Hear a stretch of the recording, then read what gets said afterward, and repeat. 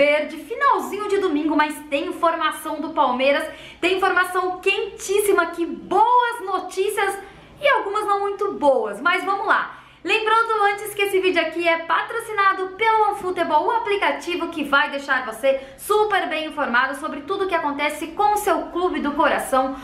Começou o Campeonato Brasileiro, né, gente? Então você pode acompanhar a tabela de jogos e você pode acompanhar também o jogo que você quiser ali em tempo real, o resultado. Então não deixe de baixar esse aplicativo que é totalmente gratuito, tem para Android, tem para iOS, eu vou deixar o link aqui embaixo na descrição. Belezinha? Aproveita que você chegou até aqui, deixa aquele like maneiro, amigo, não custa nada para você e ajuda o canal a trazer mais informações.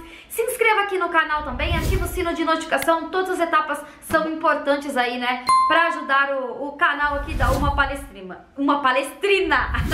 vamos lá, gente, vamos lá que tem muita coisa pra gente falar. Vou começar falando sobre uma notícia não muito boa ou boa para quem gosta do Borra.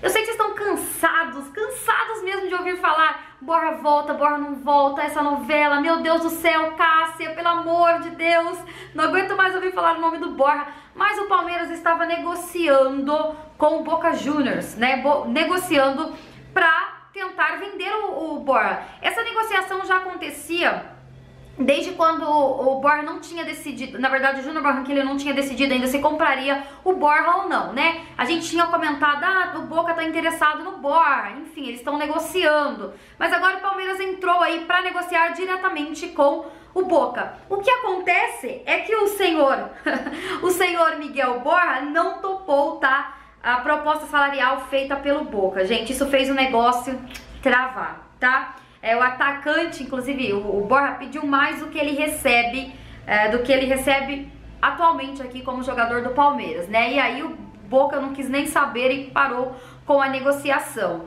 E eu quero saber de você, torcedor. Você tá de saco cheio? Era pro Borja ter aceitado? Você queria que o Borja fosse?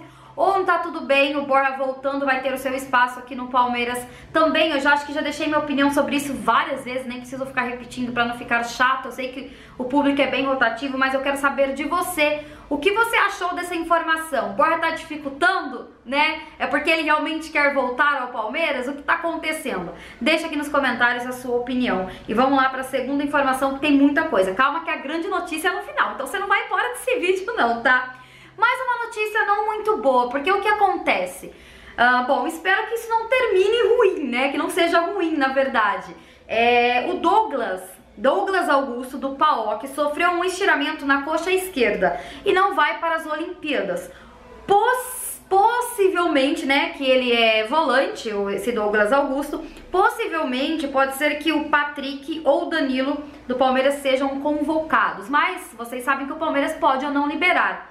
Apesar de que eu vi muita gente comentando que pode ser que seja o Lisieiro, né? Já que ele estava no pré-olímpico, pode ser. Mas como o Patrick, principalmente o Danilo, vem se destacando muito, pode ser que eles tentem, né, levar o Danilo e pelo amor de Deus, não dá para levar o Danilo agora, né? Meu Deus do céu, misericórdia, Libertadores, jogos importantes, o Palmeiras aí no topo da tabela, então vamos torcer para que mesmo que eles convocarem, pedirem aí para que o Danilo vá o Palmeiras não libera, porque o Palmeiras tem essa opção, o Palmeiras pode não liberar. A gente sabe que é a vontade do jogador, né? O Gabriel Menino já tá lá. A gente sabe que o jogador quer estar representando a seleção, mas ô amigo, ajuda nós, né? O Palmeiras aqui, amigão. Então quero saber de você, deixe sua opinião aqui, se tá tudo bem pra você, não, se você vai ficar chateado. Com certeza vai ficar chateado, né? Se um desses dois jogadores aí é, forem nesse, nesse momento, nesse exato momento aí para representar a seleção olímpica. É, mais uma informação rapidinha aqui que saiu ontem, inclusive, não sei se vocês viram, mas acredito que a maioria sim, é sobre o Everton, gente. Isso mesmo, o Everton, é o Tite comentou, né? Sobre que o Everton sofreu, parece que uma luxação no dedo, estava com uma luxação no dedo, ninguém sabe o grau, se é grave, se não é, se ele volta e já vai estar à disposição do Palmeiras. Estamos aqui na torcida para que não seja nada e que ele possa é, jogar aí pelo Palmeiras e nos ajudar, já que começa a Libertadores, gente. Isso mesmo, meio de semana já tem Libertadores. E por falar em Libertadores, gente, grande notícia para vocês aqui. Tô procurando informação que são muitas e eu perdi. Segundo o comunicado da Confederação Sul-Americana de Futebol, gente, isso mesmo, a Comembol, tá? Fez um comunicado que vai liberar torcida no estádio para as oitavas de final é, da Libertadores, gente. Isso mesmo, como nós estamos, como nós estamos.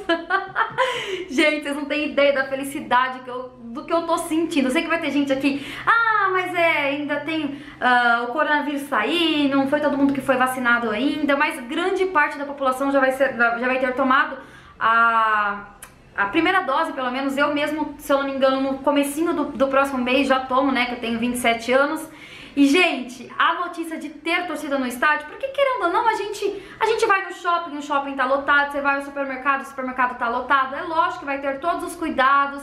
É, eu acho, acredito que vai ter uma capacidade bem reduzida, né? Mas, gente, só de saber que pode, que vai ter torcida no estádio, eu trouxe pra vocês semana passada, semana retrasada, que eles estudavam, né, realmente voltar com o público no estádio, se eu não me engano, a partir de outubro. Mas a Comembol antecipou isso, mas tem um, um asterísticozinho aqui. Para que isso aconteça, as cidades sedes da part das partidas terão que fazer a liberação de acordo com os protocolos sanitários. Ou seja, né, de acordo com o estado de São Paulo, será que o Dória vai liberar? Será que uh, a gente vai ter torcida aqui pro próximo jogo é, da Libertadores aí, gente. Ai, meu Deus do céu, só de saber disso meu coração já tá acelerado. Com certeza, tiver, eu estarei lá, né, gente? Vocês sabem a falta que tá me fazendo. Vivia lá no estádio, né? Mas enfim, eu achei uma grande notícia num finalzinho de domingo aí pra animar a sua segunda manhã. Você que levanta cedo amanhã tem que ir trabalhar. Então, uma notícia boa pra você. Tamo junto, família. Essas eram as informações do Palmeiras de hoje. Se aparecer mais alguma coisa, eu voto. Tamo junto. Um beijo, um abraço. Até amanhã, provavelmente. E avante palestra!